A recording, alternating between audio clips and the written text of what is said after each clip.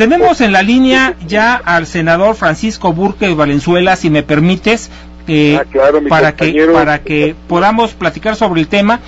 La, la intención aquí es Obviamente ustedes van a revisar porque es a la Cámara que le corresponde revisar, pero lo tiene que autorizar la Cámara de Senadores también.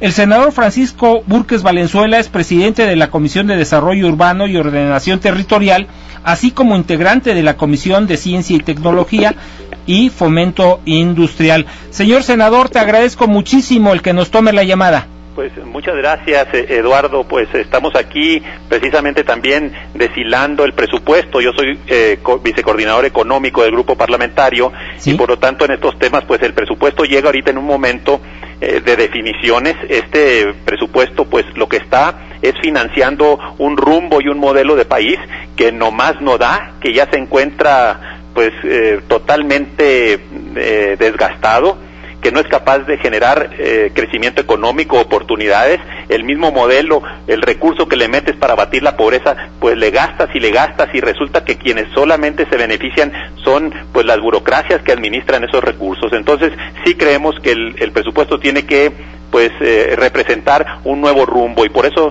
nuestra propuesta va en el sentido de hacer grandes transformaciones y nosotros teníamos esperanza de que el presupuesto base cero sería eh, tal y lo que estamos viendo es que no existe ni presupuesto base cero ni austeridad y ni apretón de cinturón. A lo mejor el cinturón como dicen se lo apretaron pero abajo de la panza. La panza sigue estando con la grasa de la burocracia. Voluminosa. senador fíjate que la preocupación aquí es de que si los recortes pero a Pemex le están quitando un 46% de presupuesto, así como se pintan las cosas, tomándolo en consideración en los dólares que le quitan. En el presupuesto en pesos, solo un 26%, pero lo que sí están originando de hacerse de esta manera es quitarle la viabilidad de existencia a Pemex. Y esto conllevaría, obviamente, a poner en riesgo 150 mil fuentes de trabajo directa. Bueno, pues mira, la realidad es la realidad y se bajan a la mitad los ingresos petroleros y hoy el presupuesto de Pemex es 45% abajo, 280 mil millones de pesos menos. Pues claro, entonces tiene que haber, una adecuación y si no la hacen, Pemex o cualquier empresa petrolera en el mundo se va a morir. Entonces, la crisis es la oportunidad que se tiene para verdaderamente quitarse la grasa y todas las empresas petroleras del mundo lo están haciendo. Entonces Pemex no puede ser la, la, la, excepción, ¿verdad?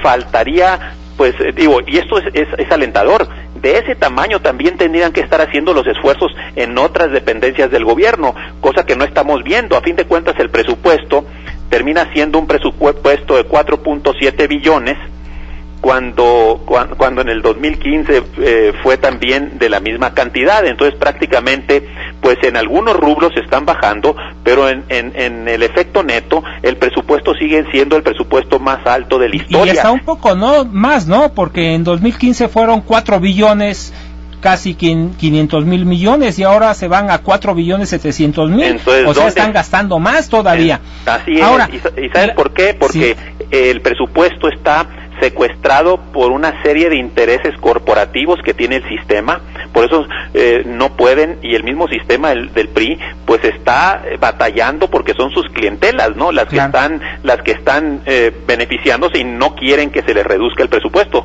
Sí, ah, senador, ahí lo que yo veo es eh, el gobierno federal, el ejecutivo nos ha planteado hacer de Pemex una empresa productiva ¿No sería momento en que los legisladores eh, en la Cámara de Diputados soltaran a Pemex, realmente le dieran autonomía y la, la dejaran fuera? Eh, diputado Armando Rivera Castillejos. Mira, gracias. Saludo también al senador Francisco Borque de Sonora, compañero de trabajo, eh, porque estamos teniendo reuniones con, con él y su equipo de trabajo precisamente para analizar la ley de ingresos y el presupuesto de ingresos yo te diría que habría que analizar muy bien qué es que está buscando el gobierno federal.